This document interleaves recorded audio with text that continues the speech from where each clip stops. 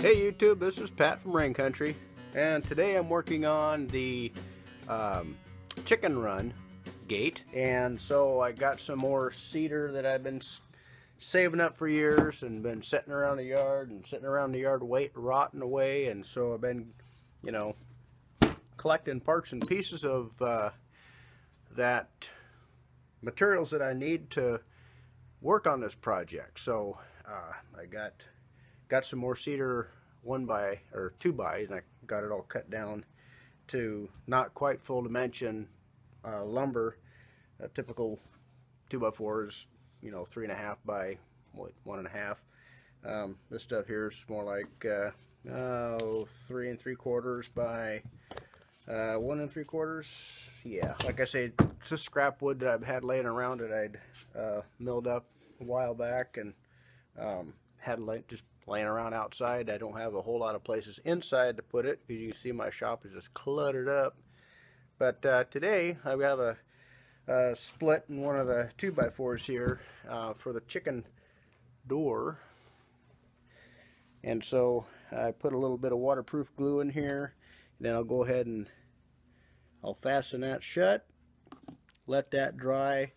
And I got a series of different joints here that I'm going to uh, incorporate into this door and I'll show you the details on that as soon as I get this nailed together.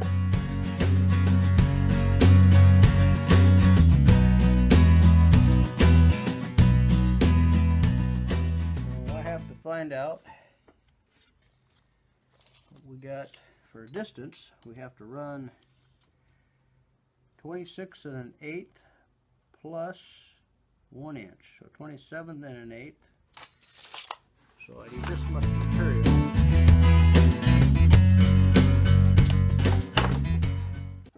Yeah, you gotta find center between, you know, to get all this centered in here. So 27 and an eighth just brings me outside of this, this uh, crease here.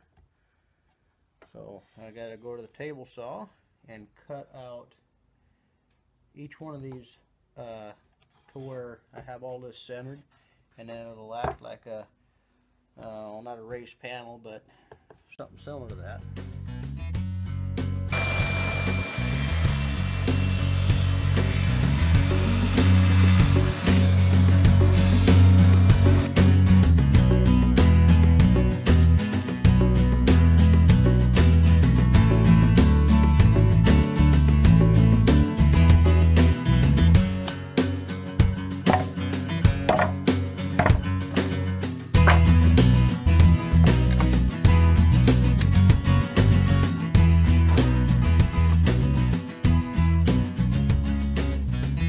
Hey guys, uh, today I'm going to be assembling the access door to the chicken run. Um, got all the materials in place except for the center screen. I'm going to figure I got to figure out what to do on the center of this. I don't know what kind of uh, if I'm just going to screen it or if I'm going to put wood slats in here. Um, my idea is to uh, build this with materials that I already have on hand around here and uh, try to save a little bit of money that way. And I got a shop full of junk. Uh, doesn't make any sense to go to the store and, and buy stuff while you have it, while you have materials on hand that will work. Um, take a little bit of, take a little bit more effort to do some of this stuff, but um, in the end, I hope it looks good. So um, I'll go ahead and get started on assembling this, I'm going to use a waterproof glue to glue all the joints together, and I'll fasten them with fasteners. Um, so uh,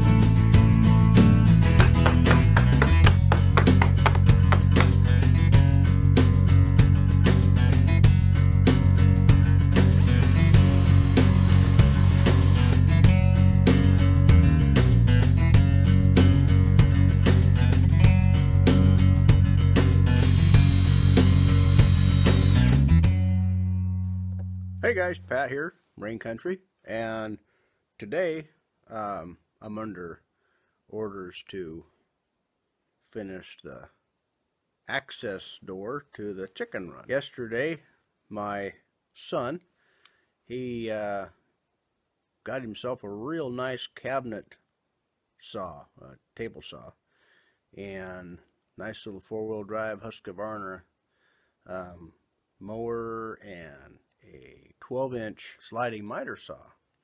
And we're walking around. This is a moving sale I got this stuff from. And there's a chunk of wire um, hanging on the wall there. And um, it was just what I need to finish out the chicken run door. The guy said, yeah, take it, please. So um, I got this wire and it's just just barely fits to the inside of the door here. It's just barely too shy.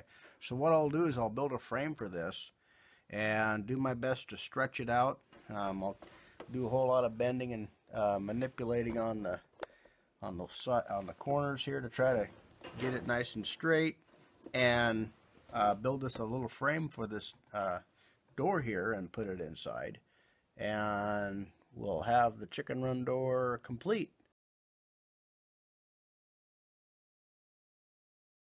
Hey guys, Pat here again, uh, Rain Country, and today I found some hinges for the chicken coop uh, run entry gate, and uh, they're strap hinges, and so I'm going to convert them to where I can install them on a regular 4x4 post. I'm going to cut down these hinges, and so I can get them to fit on a, a 3 inch on a post and then also uh, when I get get done they'll be installed on the on the door.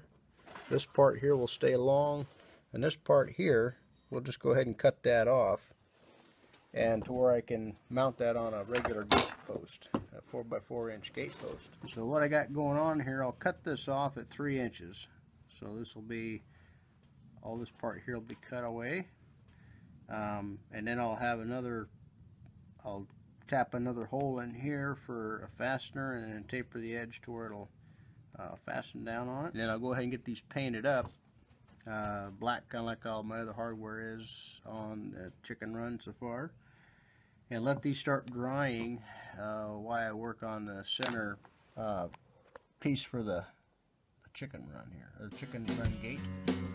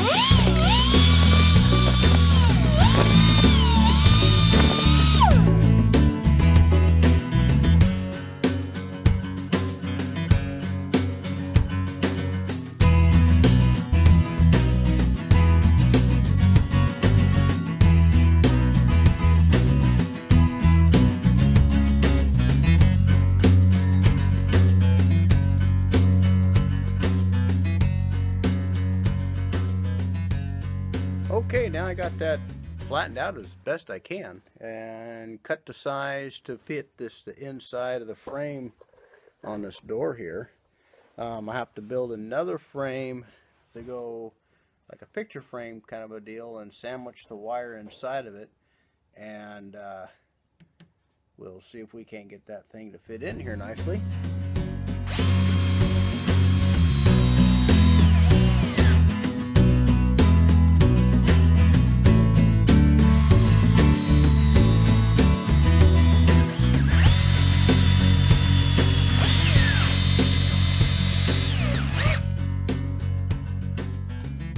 I'm working on a gate closure for the chicken run gate. And what I have so far is, this is a spring from uh, our kids, when they were young, had a trampoline and the springs were constantly breaking, so Heidi went ahead and bought a whole set of these springs, and when one would break, uh, we just go ahead and get one replaced.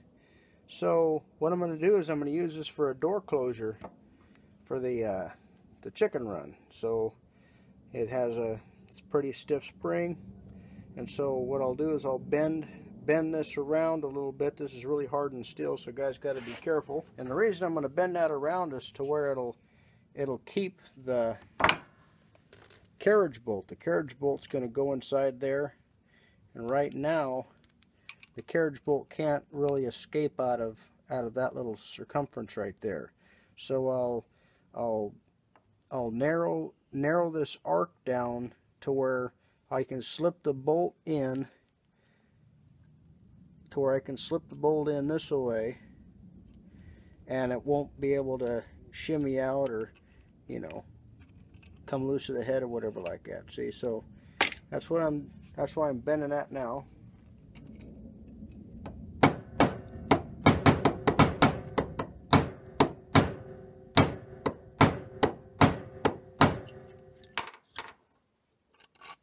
Oh, there you go. See, now that really can't pop out of there that easy.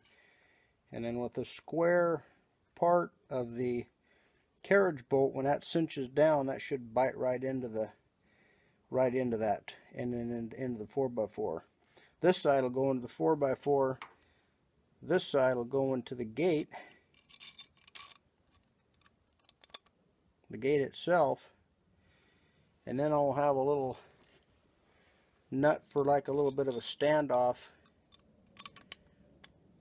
between the spring and the wood.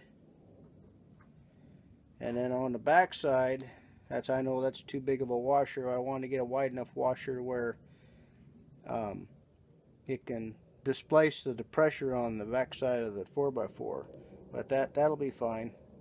And then I got a nylock nut to go on that cinch that down tight on the on the post side like this will go on the post side.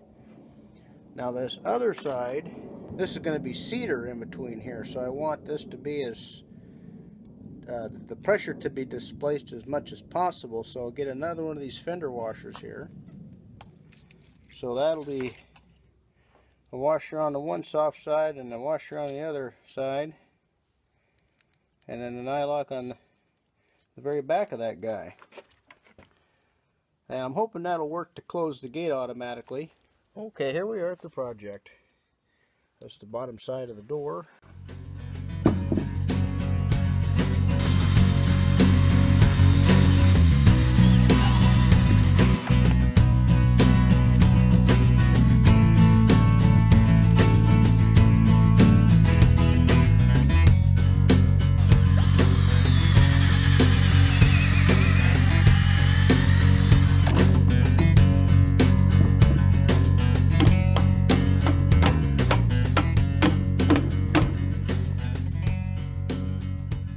If you come back here and cut off that bolt, that'd be a good idea. Oh, hey, that seems to do the trick. There's a safe spring. And then I'll have to build the latching here to where you can pull it tight and shut it and put a little handle on there. Anyway, I'm going to call it a day.